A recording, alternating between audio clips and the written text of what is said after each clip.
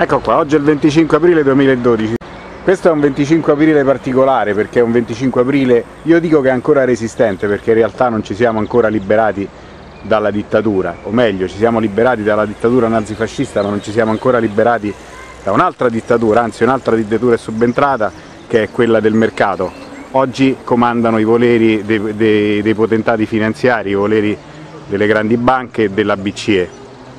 Addirittura questi poteri talmente sono forti che eh, si arrogano il diritto di attentare anche a quelle che sono eh, le norme costituzionali. Si vuole mettere un pareggio di bilancio all'interno della Costituzione, che è un obbrobrio assurdo anche perché andrebbe sicuramente a collidere e a contraddire quello che è l'articolo 3 della Costituzione, in cui tutti i cittadini sono uguali davanti alla legge e in cui eh, la Repubblica ha l'obbligo di rimuovere qualsiasi eh, eh, ostacolo di carattere economico affinché l'uomo possa eh, vivere secondo dignità eh, liberamente. Beh, questo non c'entra nulla col pareggio di bilancio.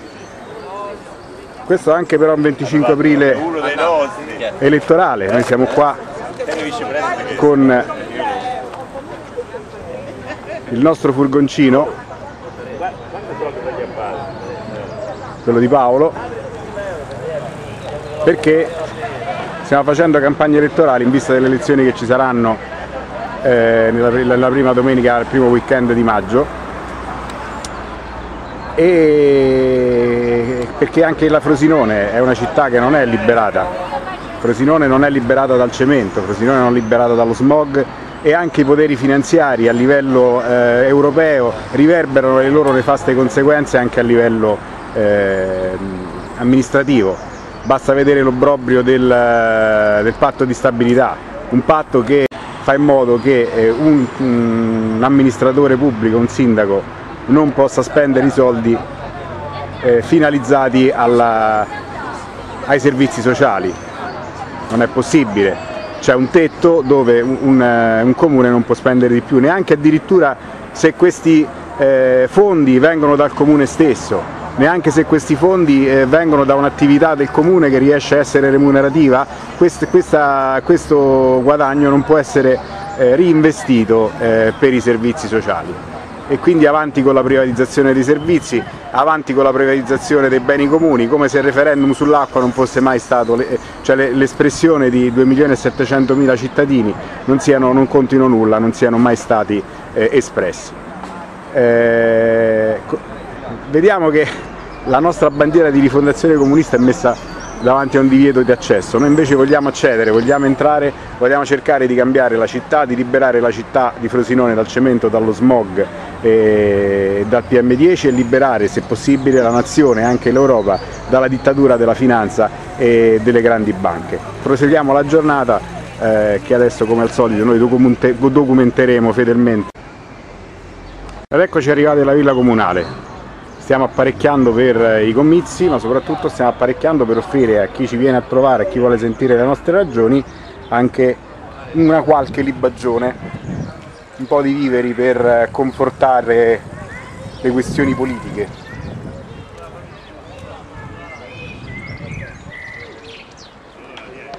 Questa è la villa comunale ma lì c'è il grattacielo quel famoso grattacielo che non, non, sarebbe dovuto mai sorgere a Frosinone se si fosse rispettato il piano regolatore iniziale, quello presentato nel 58. Lì doveva sorgere una chiesa con tanto di portico. E più avanti lì c'è la, la, la, la, zona delle terme dove in base a una eh, mozione approvata dal comune e presentata da Rifondazione Comunista eh, questi lavori qui si dovevano fermare. Perché qui sotto ci sono le terme. Invece come vediamo adesso passiamo facciamo questa cosa tipo safari. Ecco qua come vediamo i lavori proseguono senza alcun problema. Qui sotto potrebbero esserci dei reperti e, secondo, e in base alla mozione che è stata presentata da noi di rifondazione ed è stata approvata qui si sarebbero dovuti fermare i lavori prima eh, per accertare quello realmente che cosa ci fosse qui sotto, se veramente ci sono dei reperti, che sicuramente ci saranno perché questa è un'area totalmente interessata da questi reperti, per esempio lì, questo, quel palazzo lì, quello Brobrio, sta proprio su, eh, su reperti eh, delle, delle terme romane. Ecco qua. Dopo bandiere, vessilli elettorali, ecco il tavolo dove ci si rifocilla.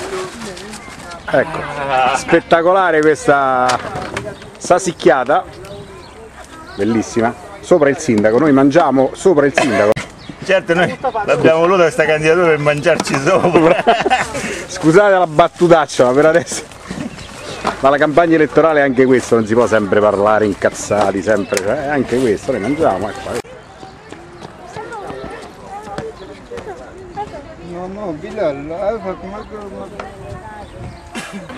Ecco i contenuti forti della campagna elettorale di Marina Coari Sindaco, queste sono le nostre idee.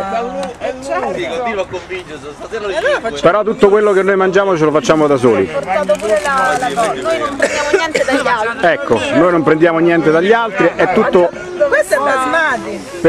perfettamente eh, fornito dal comitato elettorale di Marina Coari. Contenuti forti della campagna elettorale. Primo, primo- primo punto del programma sono queste bellissime salsiccette, eh, direi al primo punto del programma. maggiormente sull'ambiente casareccio diciamo. Esatto, esatto, questa è tutta roba casareccia. È la- è- è la forza- Se- no, adesso al di là degli scherzi c'è un punto che riguarda anche l'agricoltura, insomma è, è alla fine quello che viene fuori dal nostro discorso sull'agricoltura magari sono anche queste cose, Questo è di Alessandro. che potrebbero anche eh, stimolare un'economia del territorio, un'economia agricola che manca completamente nel nostro territorio e ormai è abbelato, per usare un eufemismo, completamente dal cemento. In una città cementificata ovviamente il picnic non si fa sull'erba ma si fa sul selciato, ma magari forse selciato, però direttamente sulle lastre d'asfalto. Ovviamente tra le caratteristiche dell'uomo c'è quella di adeguarsi alle situazioni Eh, certo, l'uomo si abbitua a fare il picnic sul A parte la villa comunale, a parte le terme romane da questa parte che sono state completamente sommerse, il picnic, sì, sì, vedi, un applauso a Israele. picnic sull'asfalto, è tipico di Frosinone.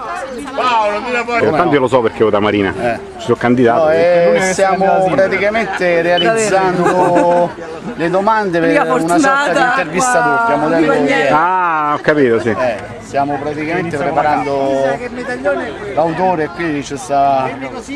Vediamo il programma nostro che vogliamo parlare. Eh, se ti dico parco sul fiume cosa, che ne so, mi viene in mente a me una cosa del genere. Urbanista.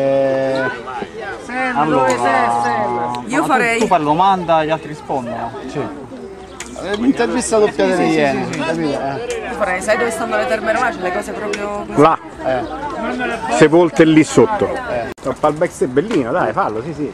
Carino. Però se ti scansi riesco pure a fare inquadrature. Ah, ma lui sta! Io pensavo che stava là! Che- Nome? Luciano, Cognome? Granieri. Sei a favore della cittadinanza municipale? Sì, Che ne pensi delle unioni civili? penso che vadano approvate come è successo a Cassino, perché i diritti vengono- devono essere riconosciuti a tutti. Come vorresti investire i soldi del comune? soprattutto per i servizi sociali e per assicurare un lavoro a chi non ce l'ha e per il reddito di citt- di cittadinanza. Se ti dico ambiente? Penso che bisogna liberare Frosinone dal cemento e dal PM10 e dall'inquinamento, Perché votare Marina? Perché è l'unica che può effettivamente fare delle cose nuove per Frosinone e soprattutto fare un nuovo piano regolatore che sia completamente di rottura con quello che c'è stato fino adesso. Ti sei mai fatto le canne? No, scusa. Sì. Sì. Aspetta, rimani perché lui di una cosa su. Hai visto? No, era una classica. Poco più di là, poco di meno. Se ti dico agricoltura? Dico che è un aspetto della nostra economia locale che non è stato mai valorizzato abbastanza e andrebbe valorizzato molto di più. Sopra o sotto? Sopra e sotto. A posto, finito? Lui, cibo che offre. Ok, siamo arrivati alla conclusione di questa giornata, spero c'è anche la- l'intervista botta e risposta. Ieri Il sindaco genuino mi sembra uno slogan eccezionale. Lorenzo gira voce che il sindaco fa il farà il vice sindaco. E come questo video Eh, anche la testa. L'ha detto la, l'ha detto la stampa, la provincia ieri. l'ha detto. Eh, che questi hanno già fatto l'accordo. Riprendimi, hanno già fatto l'accordo senza di noi, hai capito? Ah ecco, così. non ci faranno fare Il nessuno. nostro sindaco State tranquilli. cioè della serie che al ballottaggio andremo con Taviani, come funziona? Dicevo che al ballottaggio andremo con Taviani quindi. Ma con chi? No, che sei scherzato? Il nostro sindaco già si è venduto la poltrona prima di- Ah ecco, Eh, da poco è venuto a Questo video va scancellato invece. ah, ecco questa, questa è la motivazione politica, il vino, certamente. Perfetto.